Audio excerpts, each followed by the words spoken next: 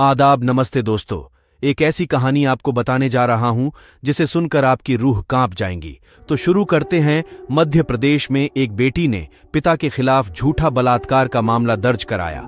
12 साल जेल में बिताने के बाद पिता बरी। 24 जनवरी को मध्य प्रदेश हाई कोर्ट ने अपनी ही बेटी से बलात्कार के आरोपी एक व्यक्ति को बरी कर दिया। फैसले के अनुसार बेटी ने 2012 में अपने तत्कालीन प्रेमी के प्रभाव में आकर अपने पिता के खिलाफ झूठा बलात्कार का मामला दर्ज कराया था। फरवरी 2013 में व्यक्ति को आजीवन कारावास की सजा सुनाई गई और दस हज़ार रुपये का जुर्माना लगाया गया। उसने उसी साल हाई कोर्ट में फैसले के खिलाफ अपील दायर की थी। 12 साल के इंतज़ार के बाद आखिरकार उसे कोर्ट ने बरी कर दिया। सुजॉय पॉल और जस्टिस विवेक जैन की दो जजों की बेंच ने फैसले में कहा कि बेटी ने खुद ही झूठा बलात्कार का मामला दर्ज कराने की बात स्वीकार की है, जब उसके पिता ने उसे उसके प्रेमी के साथ पकड़ लिया और उसे डांटा। बाद में अपने प्रेमी के प्रभाव में आकर लड़की अपने दादा के पास गई और बाद में अपने पिता के खिलाफ झूठा बलात्कार का मामला दर्ज कराया। उसके प्रेमी ने उसे यह दावा करते हुए केस दर्ज करवाने के लिए बहलाया कि इससे उसके पिता उनके जीवन में हस्तक्षेप करना बंद कर देंगे। केस की पृष्ठभूमि।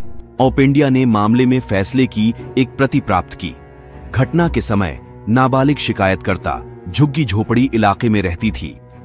21 मार्च 2012 को चोला मंदिर पुलिस स्टेशन में शिकायत दर्ज कराई गई थी।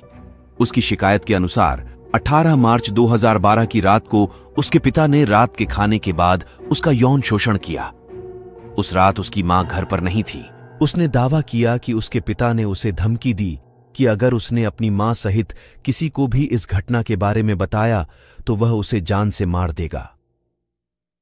शिकायत के अनुसार 20 मार्च को उसने फिर से उसके साथ मारपीट करने की कोशिश की, लेकिन वह भाग गई और अपने दादा के पास पहुँच गई।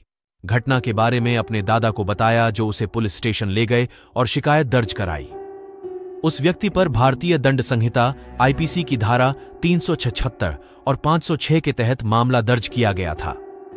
जाँच के बाद उस व्यक्ति को गिरफ़्तार कर लिया गया और 15 फरवरी 2013 को उसे मुकदमे के बाद आजीवन कारावास की सजा सुनाई गई। उस पर दस हज़ार रुपये का जुर्माना भी लगाया गया। न्यायालय में सजा के बाद पिता ने 2013 में मध्य प्रदेश उच्च न्यायालय में अपील दायर की। सुनवाई के दौरान पिता की ओर से पेश हुए अधिवक्ता विवेक अग्रवाल ने बताया कि 21 मार्च 2012 की एमएलसी में किसी भी यौन उत्पीड़न का उल्लेख नहीं है। इसके अलावा एक डॉक्टर ने गवाह के रूप में पेश होकर कहा कि यौन उत्पीड़न का कोई संकेत नहीं था। दिलचस्प बात यह है कि मामले में पेश हुए दूसरे डॉक्टर ने बताया कि जब उसने लड़की को चेकअप के लिए कपड़े उतारने के लिए कहा तो वह भाग गई और पुलिस स्टेशन पहुँच गई। अदालत में एक सवाल के दौरान लड़की ने खुलकर एक लड़के के साथ रोमांटिक संबंध होने और उसके साथ शारीरिक संबंध बनाने की बात स्वीकार की। उसने आगे स्वीकार किया कि उसके पिता ने उसे इस रिश्ते को लेकर कई बार डांटा था। फैसले में कहा गया, जिरह के पैरा पाँच पर बहुत अधिक भरोसा किया गया है।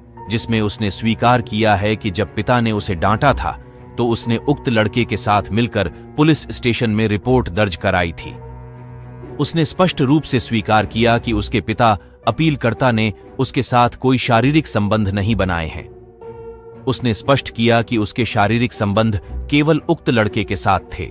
इसके अलावा, सुनवाई के दौरान उसके दादा ने अपने बयान से पलट गए और लड़की द्वारा बताई गई कहानी का समर्थन नहीं किया।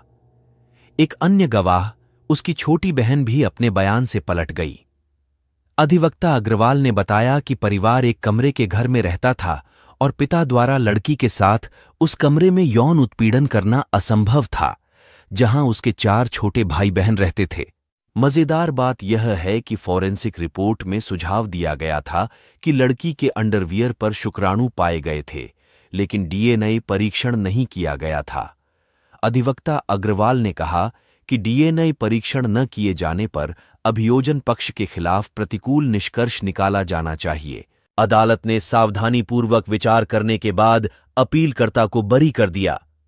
अदालत ने इस बात पर प्रकाश डाला कि अभियोजन पक्ष दोष सिद्धि के लिए आवश्यक आधारभूत तथ्य स्थापित करने में विफल रहा। अदालत ने कहा, पूर्वगामी विश्लेषण को देखते हुए अपीलकर्ता को बरी किया जाना चाहिए। दुर्भाग्य से और दुख की बात है कि अपीलकर्ता 21 और तीन 2012 से हिरासत में रहा। अभियोजन पक्ष अपने मामले को गुणदोष के आधार पर स्थापित करने में बुरी तरह विफल रहा है। सत्र न्यायालय के फैसले को खारिज करते हुए अदालत ने कहा, यदि किसी अन्य मामले के लिए हिरासत में अपीलकर्ता की उपस्थिति की आवश्यकता नहीं है तो उसे तुरंत रिहा किया जाना चाहिए। मुझे तो ये केस देखकर काफ़ी बुरा लगा। कुछ दिन के प्यार के लिए अपने बाप को ही भूल गई। ये है रियल फ़ोटो उस लड़की की। तो ऐसे ही और रियल कहानी देखने के लिए हमारे चैनल को सब्सक्राइब करें। तो गुड बाय दोस्तों।